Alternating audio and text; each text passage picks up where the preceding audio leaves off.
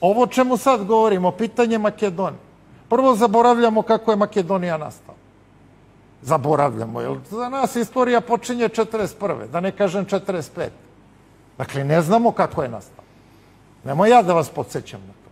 Drugo, pošto je to jedna slaba i veštačka tvorevina, naravno da je podložna ovakvim iskušenjima.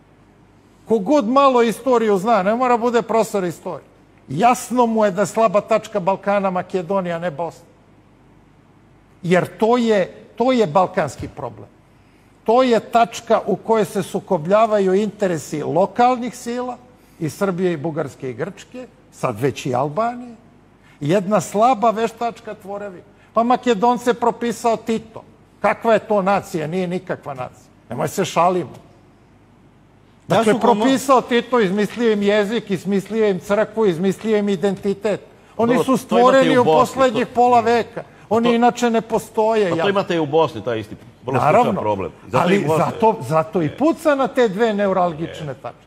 Samo što je tamo identitet povezan sa verskim, a u Makedoniji čak nije ni to, nego je morala veštački na silu da bude odvojena crkva